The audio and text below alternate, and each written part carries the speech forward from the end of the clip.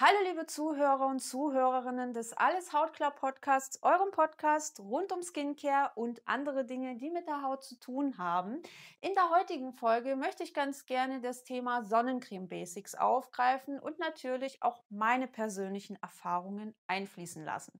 Und falls ihr euch jetzt fragen solltet, warum ich gerade jetzt über dieses Thema sprechen möchte, Anfang März aber die Sonne kommt so langsam raus und auch der UV-Index klettert so langsam nach oben. In manchen Bereichen Deutschlands liegt er mittlerweile bei circa 3, je nachdem, wo man sich eben befindet. Und ab diesem UV-Index empfiehlt das Bundesamt für Strahlenschutz auf UV-Schutz zu achten, unter anderem auf Sonnencreme. Fangen wir als erstes mal mit dem Sinn und der Funktionsweise von Sonnencreme an. Und dazu ist erwähnenswert, dass unser Sonnenlicht unter anderem aus UV-Strahlung besteht. Und die für uns relevanteste Strahlung ist die UVA und die UVB-Strahlung. Beide Formen können das Hautkrebsrisiko erhöhen. Beide Formen können Sonnenbrand verursachen. Und genau hier setzt die Sonnencreme an. Die enthält sogenannte UV-Filter, die in der Lage sind, eben diese UV-Strahlung aufzunehmen und in unschädliche Wärme umzuwandeln. Was die UV-Filter angeht, wird grundlegend in organische und anorganische UV-Filter unterteilt. Es gibt auch noch organische partikelartige UV-Filter, aber da will ich jetzt nicht so im Detail drauf eingehen. Ich kann auch sehr, sehr gerne nochmal eine extra Folge zu UV-Filtern machen, falls euch das interessieren sollte. Aber ihr könnt euch einfach im Hinterkopf behalten, dass jene UV-Filter einfach dafür sorgen, dass die UV-Strahlung absorbiert wird und in für uns unschädliche Wärme umgewandelt wird. Das hat natürlich den Vorteil, dass das Hautkrebsrisiko reduziert wird, dass wir vor einem Sonnenbrand geschützt werden können und natürlich hilft eine Sonnencreme auch dabei, vorzeitiger Hautalterung vorzubeugen. Natürlich spielen bei Sonnencremes nicht ausschließlich die UV-Filter eine große Rolle, sondern die Gesamtformulierung des Produkts. Denn hierbei ist es eben auch wichtig, dass die Sonnencreme sich gleichmäßig auftragen lässt, dass sie einen gleichmäßigen Film bildet und dass sie sich auch in der entsprechenden Menge ohne Probleme auf der Haut verteilen lässt. Da gibt es bei manchen Marken definitiv noch Luft nach oben. Ich zumindest habe mit einigen Produkten eher negative Erfahrungen gemacht, was eben die entsprechende Menge betrifft. Ich habe dann zum Beispiel einen Gramm davon im Gesicht aufgetragen und das hat sich komplett runtergekrümelt oder andere Produkte wiederum waren so fettig, dass sich da ständig irgendwelche Insekten drin verfangen haben. Wie ihr seht, ist dieses Thema Thema relativ komplex, vor allem was die Vereinbarkeit von Alltagstauglichkeit und Formulierung der Sonnencreme angeht. Denn manche Produkte lassen sich einfach in der benötigten Menge nicht so gut auftragen oder passen nicht zu den persönlichen Bedürfnissen. Und die Auftragsmenge ist ja auch wahnsinnig wichtig, denn unsere Sonnenschutzmittel, sofern sie von einem seriösen Hersteller stammen, werden in der EU nach einer standardisierten Methode getestet, bei der einfach auch eine ganz bestimmte Menge aufgetragen wird und die muss man selbstverständlich dann auch für sich übernehmen, um den deklarierten Schutz auf einem Sonnenschutzmittel zu erhalten. Fürs Gesicht ist es beispielsweise circa ein Gramm, also man sagt so im Schnitt ein Gramm fürs Gesicht. Das ist ungefähr ein halber Teelöffel, wobei es auch extrem darauf ankommt, was für ein Produkt ihr habt, ob es sehr flüssig ist, ob es sehr cremig ist. Es gibt auch diese ähm, Zwei-Finger-Methode.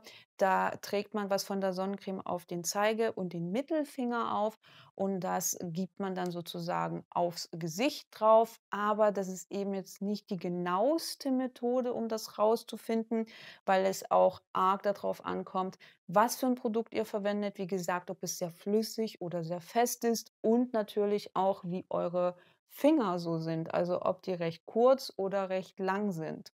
Übrigens, falls euch mein Podcast bisher gut gefallen sollte und ihr meine Aufklärungsarbeit finanziell unterstützen möchtet, würde ich mich sehr darüber freuen, wenn ihr entweder ein Skincare-Produkt von mir erwerbt oder aber eine Patreon-Mitgliedschaft abschließt. Dort existiert sogar die Möglichkeit, einen Early Access-Zugang zu neuen Podcast-Folgen zu erhalten. Ich packe euch alle Links in die Beschreibung mit rein, dann könnt ihr dort easy peasy vorbeischauen und dann war's das mit der kleinen Unterbrechung. Dann gibt es noch ein paar hilfreiche Informationen lohnen, wenn ihr einen Blick auf die Verpackung eurer Sonnencreme werft. Ich habe hier gerade eine Tube mit SPF 50 in der Hand und SPF steht für Sun Protection Factor, sprich Sonnenschutzfaktor und sagt hauptsächlich etwas über den Schutz vor UVB-Strahlung aus. In diesem Fall würde das bedeuten, dass circa 2% der UVB-Strahlung ungehindert auf unserer Haut treffen. Und dann findet ihr auch noch so ein kleines UVA-Siegel auf eurer Sonnencreme, sofern sie in der EU hergestellt wurde und sofern sie von einem seriösen Hersteller kommt. Das ist wie ein kleiner Kreis und dann steht dort UVA drin. Und das bedeutet, dass der UVA-Schutz mindestens einem Drittel des UVB-Schutzes entspricht. Ihr dürft nicht vergessen, dass es eben auch wichtig ist, sich nicht nur vor der UVB-Strahlung, sondern auch vor der UVA-Strahlung zu schützen, die übrigens auch für vorzeitige Hautalterung verantwortlich möglich ist. Und bei einer Sonnencreme mit einem SPF von 50 plus würde das jetzt zum Beispiel bedeuten, dass der UVA-Schutz bei mindestens 20 liegt, was wiederum heißt, dass maximal 5% der UVA-Strahlung ungehindert auf die Haut treffen. Ich weiß, das ist halt so ein bisschen abstrus und schwer vorzustellen. Deswegen nehme ich da immer sehr, sehr gerne das Bild der Mückenstiche. Also stellt euch vor, ihr steht in einem Raum, die Fenster sind offen und 100 Mücken fliegen rein. Diese 100 Mücken stehen für Photonen, also diese energiereichen äh, Teilchen der UV-Strahlung, die dann eben auf die Haut treffen können und diese schädigen können. Und die Sonnencreme stellt das Mückennetz dar. Und je nachdem, wie gut die Schutzleistung dieser Sonnencreme ist, dementsprechend ist auch das Netz enger geknüpft und weniger Mücken können sozusagen reinkommen.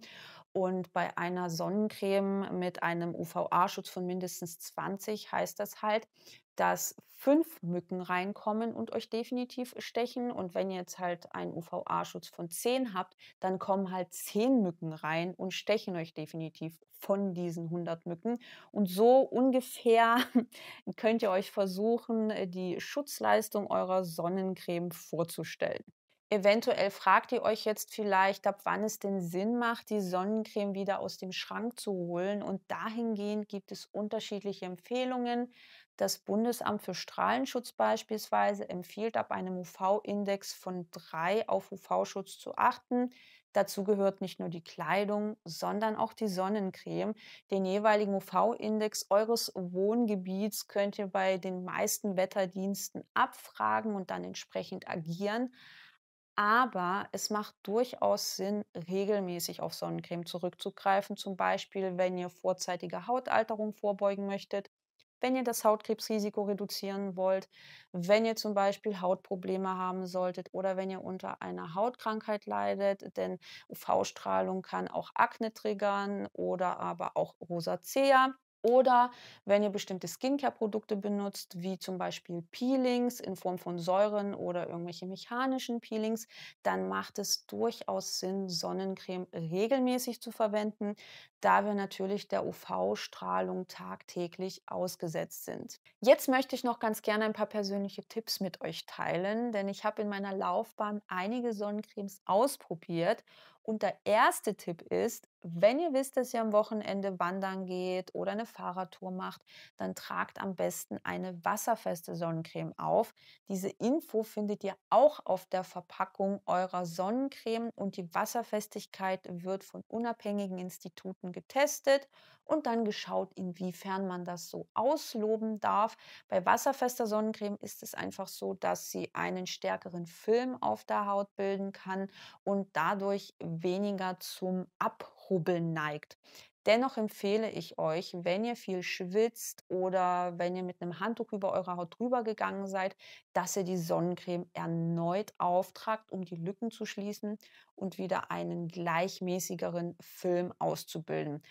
Trotzdem ist das natürlich kein Freifahrtschein dafür, in der Sonne stundenlang zu brutzeln, denn ihr füllt wirklich nur die Lücken auf und verlängert damit nicht die Dauer, die ihr in der Sonne bleiben solltet, da die Haut auch weiterhin eben mit den Folgen der UV-Strahlung zu kämpfen hat und wir sollten sie einfach dieser nicht unnötig lang aussetzen müssen. Dann solltet ihr euch auch einen Lippenpflegestift mit UV-Schutz zulegen, denn die Haut unseres Lippenrots ist viel dünner als beispielsweise im Gesicht und somit anfälliger für die UV-Strahlung. Was ihr auch keinesfalls vernachlässigen solltet, ist der Schutz durch Kleidung, Sonnenhut, Sonnenbrille, aber auch einfache Verhaltensweisen, wie zum Beispiel, dass man nicht in der prallen Mittagssonne hocken sollte und auch verinnerlichen, dass keine Sonnencreme hundertprozentig schützen kann und dass es eben auch kaum Menschen gibt,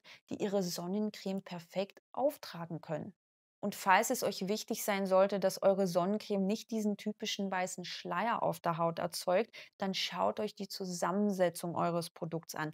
Dreht die Verpackung rum und dann findet ihr dort hinter dem Wort Ingredients die einzelnen Bestandteile eurer Sonnencreme. Und falls dort der Inhaltsstoff Titandioxid und oder Zinkoxid gelistet wird, dann ist die Wahrscheinlichkeit relativ groß, dass diese Sonnencreme weißelt. Jetzt sind wir mittlerweile am Ende meiner Podcast-Folge rund um das Thema Sonnencreme-Grundlagen. Ich hoffe inständig, dass ich nichts Wichtiges vergessen habe, weil ich das so ein bisschen frei von der Leber weg erzählt habe und hier nur so einen kleinen Stichwortzettel mit fünf Punkten vor mir liegen habe. Ich packe euch einfach wie immer alle Infos in die Beschreibung rein. Ich habe auch auf meiner Webseite etliche Informationen rund um das Thema Sonnenschutz und auf meinem Instagram-Account kläre ich sehr, sehr regelmäßig darüber auf. Und auch auf meinem YouTube-Kanal existieren einige Videos dazu. Und dann hoffe ich einfach, dass ihr etwas für euch mitnehmen konntet, dass ihr etwas Neues lernen konntet oder dass ihr vielleicht euer Wissen so ein bisschen auffrischen konntet. Und würde mich natürlich riesig freuen, wenn ihr diese Folge mit euren KollegInnen, Freundinnen oder Lieblingsmenschen teilt, damit meine Arbeit ein kleines bisschen mehr Aufmerksamkeit bekommt und dann hören wir uns beim nächsten Mal.